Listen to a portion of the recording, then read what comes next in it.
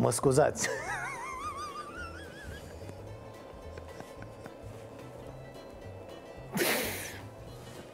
Veorica scoate o carte. Scuze.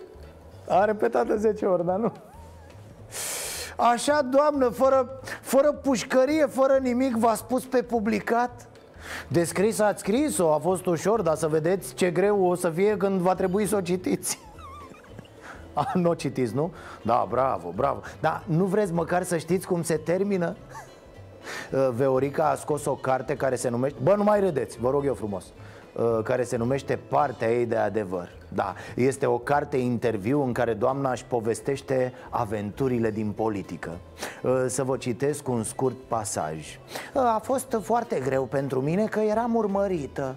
Liviu Dragnea avea oameni în jurul meu care îl informau de tot ceea ce se întâmpla în guvern Doamne, Doamne, cât ai mai suferit și tu, Veo Ești ca liberalii asupriți de dictatorul Orban Bă, ne lași Și Pregătiți un guvern din umbră? partidului al categoric Categoric, așa e Ce înseamnă? democrație în 30 de sec- O să aducem mult mai multe doamne în acest cabinet de Când îl din veți umbră prezenta? decât... Uh, cred că im, imediat după, după 1 mai Bă, te gândești la umbră, Marcele, nebunule? Ești plecat prin insule, aici sus, la mansardă? Ți-e dor ă, să tragi și tu la rame, cum făceai pe Belina? Ți-e dor să-ți mai radă una după ceafă nealivache?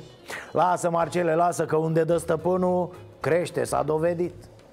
Face Marcel guvern din umbră. Fă, Marcele, fă să nu vă ia somnul Noi l-am, uh, l-am finalizat, PSD-ului. o să-l prezentăm, uh, cred că în următoarea L-ați să vedem- finalizat proiectul de buget? Da, Cum arată? categoric. Dați-mi așa un și este flavor. și sustenabil. Vom arăta românilor că există bani suficienți să mărim și pensiile și alocațiile. Cu 40 Uh, Câțule, fără Caterincă, dacă are domnul Marcel buget mai bun, ia-l pe al lor, mă Nu e plagiat, e împrumut Oricum stăm foarte bine la împrumuturi de când te ocupi tu Doamne, n-am văzut fraților bucurie mai mare ca la guvernele astea ale noastre când se împrumută. Bă, li se luminează privirea idioților, le vine culoarea în obraj. 2 miliarde, 3 miliarde, mai dă, mai dă. Fac ăia dependenți de păcănele, mă, sunt dependenți să se împrumute când ajung la putere. Dar mai e ceva legat de PSD Un proces normal, o sentință, ce să fie? Judecătorii Curții de Apel Constanța l-au achitat printr-o sentință definitivă pe fostul primar al municipiului Constanța, Radu Mazăre, într-un dosar în care fusese condamnat la șase ani și șase luni de detenție. Nu știu, mă, eu nu înțeleg asta Cum e asta, domne? Cum e asta? Cum poți lua șase ani jumate și apoi zero? Oare acei judecători au făcut alte școli? Se raportează la altă legislație? Au luat alte sacoși? Uh, nu, nu, uh, mă scuzați, nu asta am vrut să zic Pentru că nu se ia șpagă, domne, în justiția noastră Se știe asta dar ar putea cineva să ne explice și nouă, totuși?